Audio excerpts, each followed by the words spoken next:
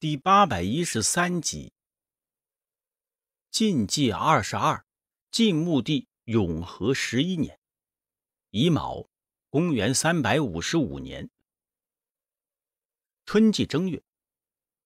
以前求池公杨毅的弟弟杨宋奴派他姑姑的儿子梁世王去刺杀杨初。杨初的儿子杨国杀掉了梁世王的杨宋奴。自立为求池公，桓温上表请求任命杨国为镇北将军、秦州刺史。二月，前秦发生了严重的蝗灾，百草无遗，牛马没有吃的，于是互相之间啃食身上的毛。夏季四月，前燕主慕容俊从合龙返回蓟城，在此之前。幽州、冀州的百姓认为慕容俊已经东迁合龙，因此互相侵扰，据地结集。慕容俊返回之后，群臣请求讨伐他们。慕容俊说：“这帮小人因为朕去东部地区巡视，所以才互相猜忌作乱。如今朕已返回，用不了多久，他们自己就会安定了，不值得去讨伐。”兰陵太守孙黑、济北太守高柱、建兴太守高，以及前秦河内太守王惠、黎阳太守韩高，全部投降了前燕，将自己占据的郡拱手相让。前秦淮南王福生在小时候丧失了一只眼睛，所以性情暴烈。他的祖父福弘曾经和他开玩笑说。我听说虾儿只有一只眼流泪，是真的吗？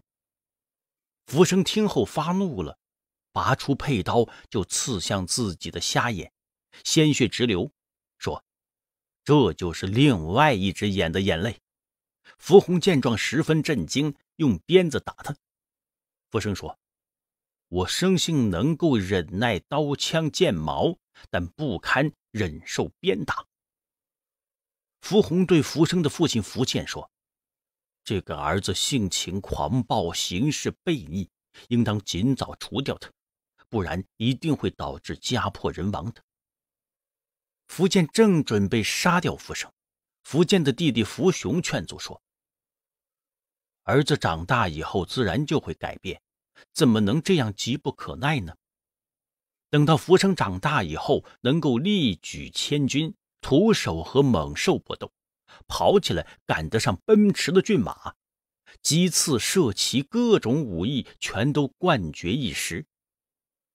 太子福长死后，强太后想立小儿子晋王福柳，前秦国主福建认为谶文中有“三阳五眼”的字样，于是就立福生为太子，任命司空平昌王福京为太尉。尚书令王铎为司空，司隶校尉梁棱为尚书令。姚襄的部下大多都劝他北返，姚襄听从了。五月，姚襄在外黄攻打晋朝官军将军高季，恰好这时高季去世了，姚襄便进军占据了许昌。六月初六，前秦国主苻建患病，卧床不起。初时，平昌王苻京率兵进入东宫，准备杀掉太子苻生而自立。这时，苻生正在西宫服侍患病的苻建。苻京以为苻建已经死了，便攻打东掖门。苻建听到变故的消息后，登上端门，部署兵力自卫。苻京的兵众看到苻建后，十分惶恐害怕，全都丢下武器，四处逃散。苻建抓住了苻京，数说了他的罪行后，把他杀死。其余的人则不加以追究。十二日，前秦任命大司马武都王福安为都督中外诸军事。十四日，苻建召唤太师于尊、丞相雷若尔、太傅毛贵、司空王队、尚书令梁棱、左仆射梁安、右仆射段纯、吏部尚书辛劳等人。前来接受遗诏，辅佐朝政。苻建对太子福生说：“六夷酋长、将帅以及大臣中握有权力的人，如果不听从你的命令，就应该逐渐把他除掉。”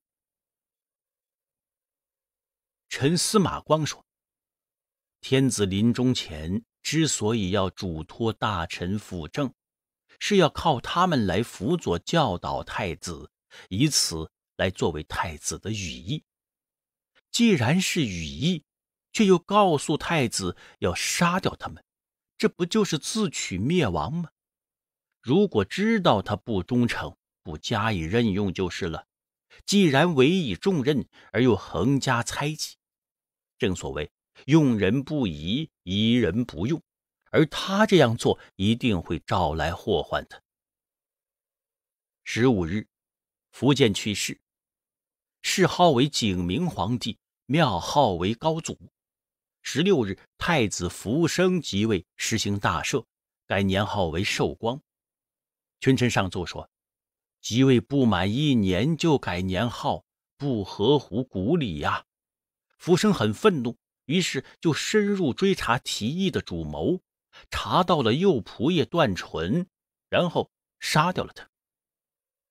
秋季七月，东晋朝廷任命吏部尚书周敏为左仆射。有人向会稽王司马昱报告说，武陵王司马的宫中大量准备武器，看来将要图谋政变呢。司马懿把这情况告诉了太常王彪之。王彪之说：“武陵王的志向全都在驰骋狩猎方面而已，愿您安静下来，然后去平息各种议论，不要再提这种事情了。”司马懿觉得此话有理。前秦国主福生尊奉母亲强氏为皇太后，立妃子梁氏为皇后。梁氏是梁安的女儿，任命他的宠臣太子门大夫南安人赵韶为右仆射，太子舍人赵惠为中护军，著作郎董荣为尚书。前梁王张作为人淫乱暴虐，做出了惨无人道的事情，上上下下的人都非常怨恨他，对他的行为也感到非常的愤怒。张作。憎恨河南刺史张，因为张很强大，于是张作便派张掖太守索福代替张镇守罕，派张去讨伐反叛的胡人，又派手下的将领义揣、张陵率领一万三千名步兵骑兵去袭击张。张掖人王鸾懂得阴阳占卜之术，他对张作说。这支部队一定是有出无还的，我想梁国将要危险了。同时还仔细历数了张作三个方面的不义之举。张作听后勃然大怒，便说王鸾宣扬妖言，犯了罪，然后将他斩首示众。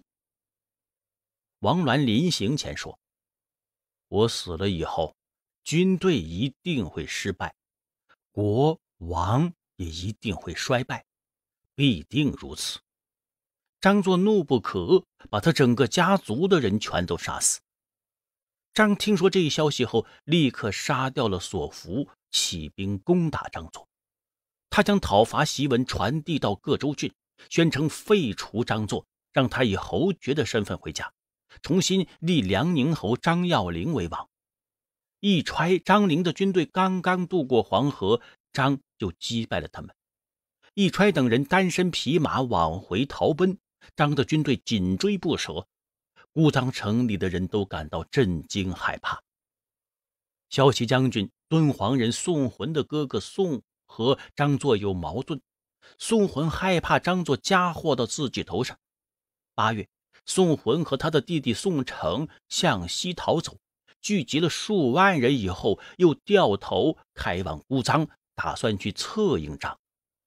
张作派杨虎丘把张耀陵带到东院，扳断他的腰之后，把他斩杀了，尸体埋在沙坑当中，定谥号为哀公。前秦国主福生封魏大将军福黄梅为广平王，封前将军福飞为新兴王。这两人都是他平常很喜欢的人。征召大司马武都王福安兼太尉，任命晋王福柳为征东大将军，并州牧，镇守蒲坂；任命魏王福为镇东大将军，豫州牧，镇守陕城。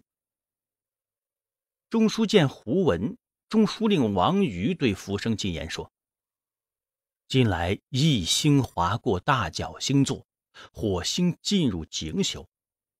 大角是。”帝王的星座，景宿则是前秦朝的分野。经过占卜，不出三年，就会出现帝王、皇后死亡、大臣被杀的事情。愿陛下修行德性，以此来避免丧乱的出现。福生说：“皇后和朕一起统治天下，可以应验大丧的出现。太傅毛贵。”车骑将军梁棱、左仆射梁安接受遗诏，辅佐朝政，可以应验大臣的结局。九月，福生便杀掉了皇后梁氏以及毛贵、梁棱、梁安。毛贵是皇后的舅舅。右仆射赵韶、中护军赵惠都是洛州刺史赵据的堂弟，得宠于福生。于是，福生便任命赵据为尚书令。赵据以患病为由，坚决推辞，并对赵少、赵惠说：“你们不顾及祖宗了，啊？想要干出灭门的事情吗？毛良等人何罪之有？为什么要杀了他们？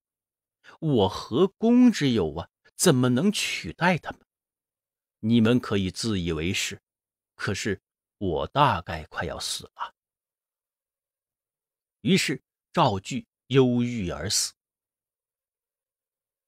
钱粮送魂的军队驻扎在无始的大湖边，哀悼张耀陵。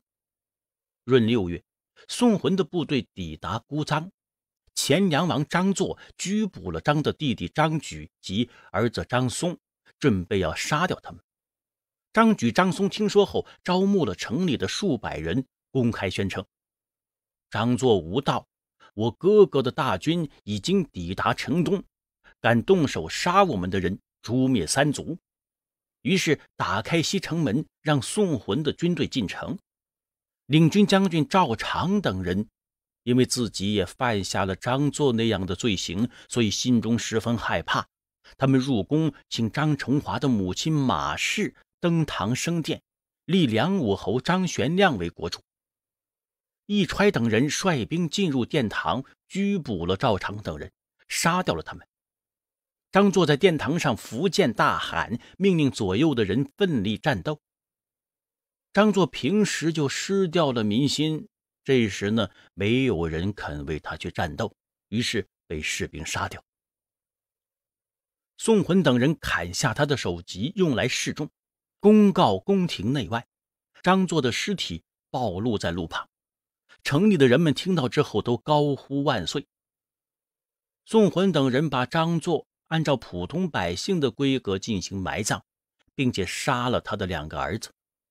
宋浑、张举上书东晋朝廷，请立张玄亮为大将军、凉州牧、西平公，在境内实行大赦。纪年恢复为建兴四十三年，这时张玄亮刚七岁。